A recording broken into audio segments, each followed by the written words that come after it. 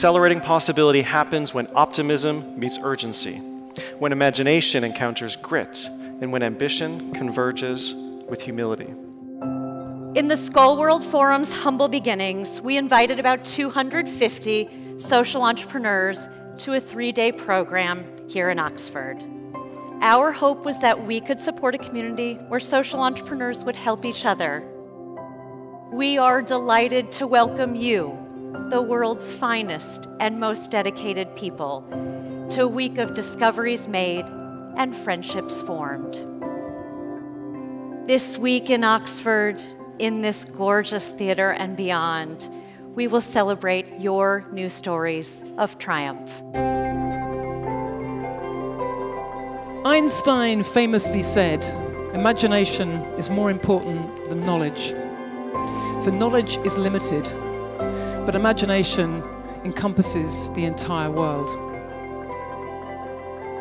You are an extraordinary gathering of people working for equality and justice, and our country needs you more than ever. We need your ideas, your experiences, we need your internationalism, and thank you for sharing them with us.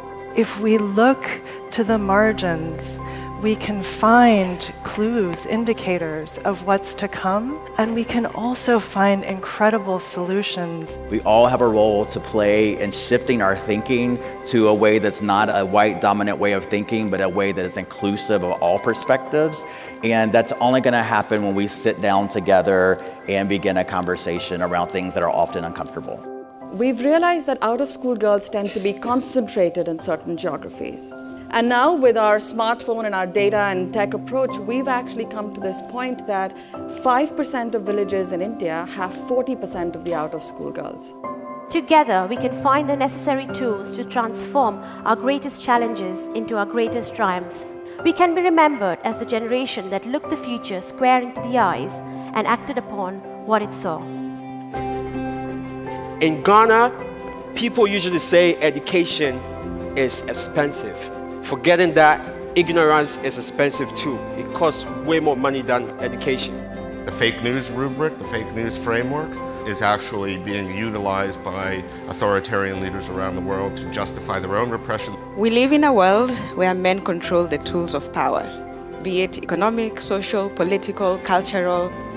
And although women participate in different facets of life, men control the keys to the real power if we're not reaching the youngest refugees with education, how do they have a chance to go forward, to rebuild their societies, to reach their potential?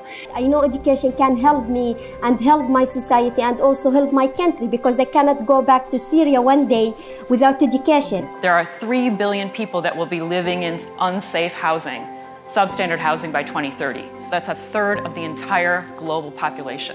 It's smarter to be closer to your investees than your investors. That's how you create greater impact. I believe we need to move this century from being growth addicted to becoming growth agnostic so that we stop having institutions that are financially, politically, and socially addicted to endless growth and that we can actually instead have economies that learn to thrive.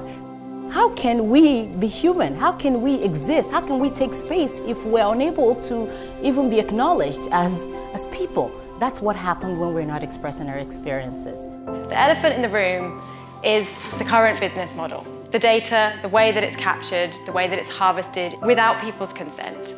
It feels to me a little bit like we're talking about the cherry on the cake, a huge amount, which is the algorithm, how does it look, how does it taste.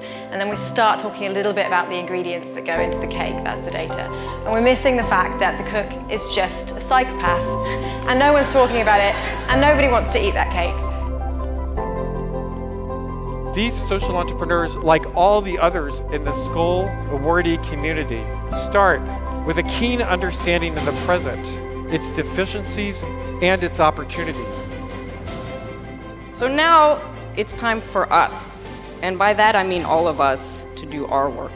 And all of you in this room that are committed to solving the world's most pressing challenges. Our work is to keep falling in love with the problem and not staying in love with our solutions. Strangers helping other strangers in their darkest moments, all by text, works. I hope that everybody who's ever texted us knows that you are stronger than you know. And if you ever doubt that, if you ever doubt how strong you are, we got you. I hope that one day I can stand before you and truly deserve your applause when mPharma ensures that every African is not denied access to high quality medicine because of their socio-economic background. A bit of being naive can open up some incredible possibilities for innovation. It forced us to partner deeply with those on the front lines who did know. Just as there are social entrepreneurs, there are anti social entrepreneurs. Just as we are committed and we are driven, and some of us are smart, they are also committed and driven and smart, but they lack one thing. And that thing they lack is that they don't have the trust and the solidarity that binds this room.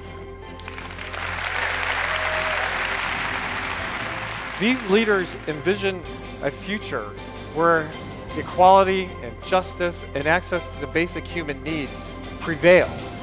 They are not mere possibilities, they are reality. If you feel uncomfortable, lean into that and just sit in that and know, wow, like I'm actually growing and stretching as a person because I feel uncomfortable. We are all related, our suffering is mutual, and our thriving is mutual.